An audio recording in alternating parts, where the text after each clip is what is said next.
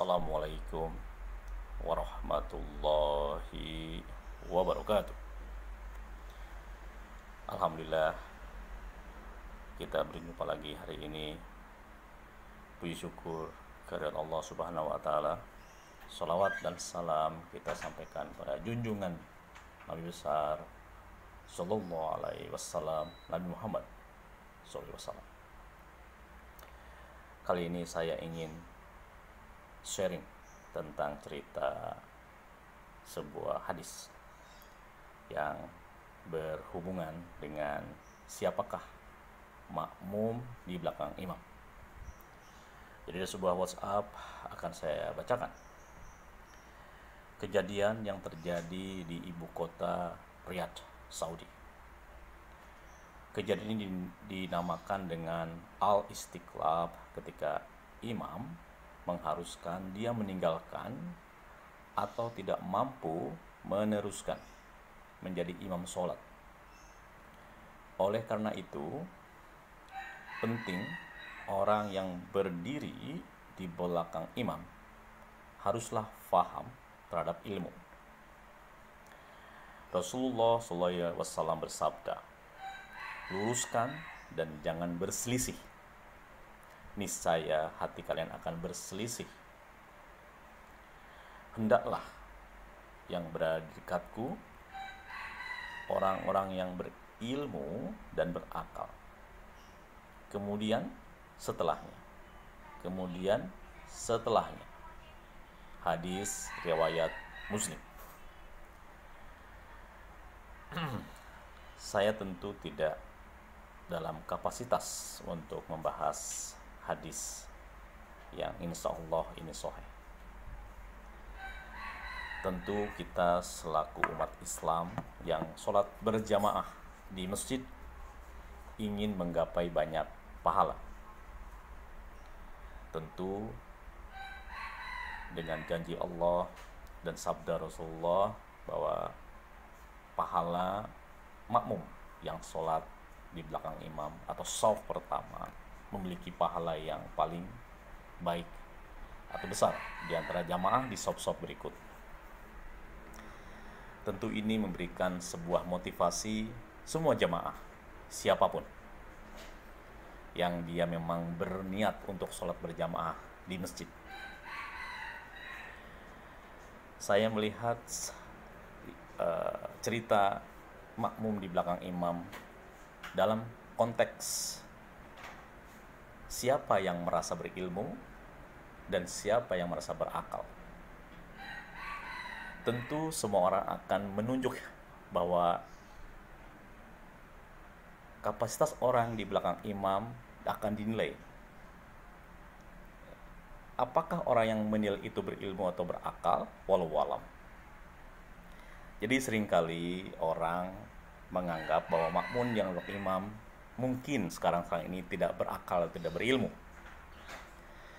Tapi saya ingin autokritik bahwa umumnya orang-orang yang berakal berilmu pun saya yakin dia ingin punya motivasi berpahala besar untuk sholat di belakang imam.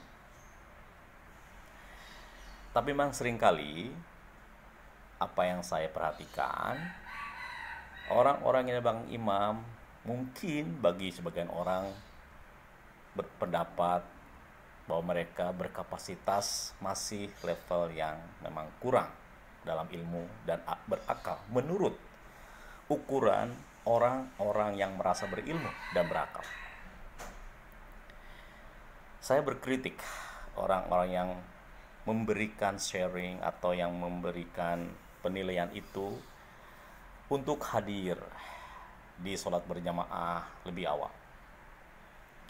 Untuk hadir bahwa mereka merasa berilmu untuk memberikan contoh.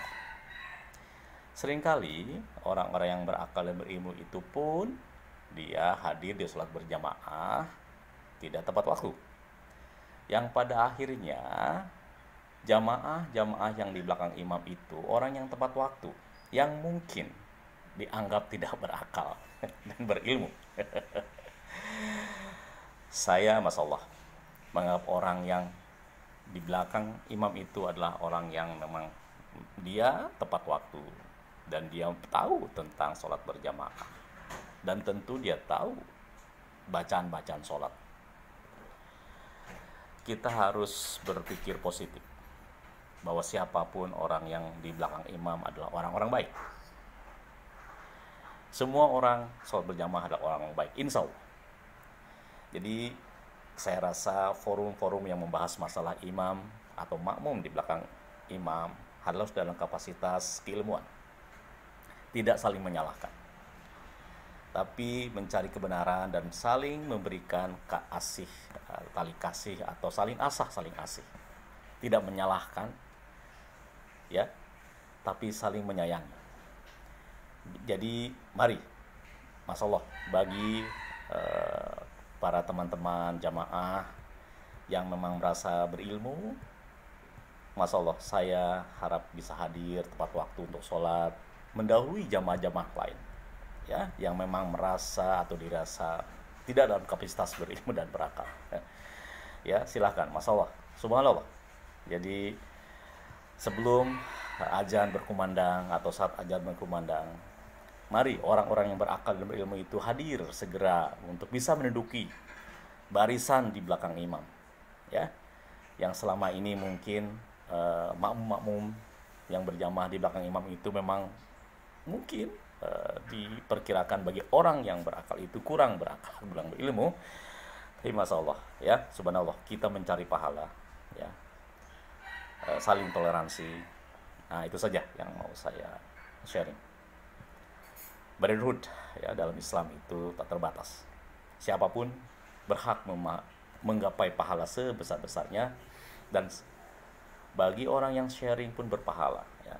Jadi intinya kita saling mengingatkan, tidak saling menyalahkan. Demikian insight saya. Assalamualaikum warahmatullahi wabarakatuh.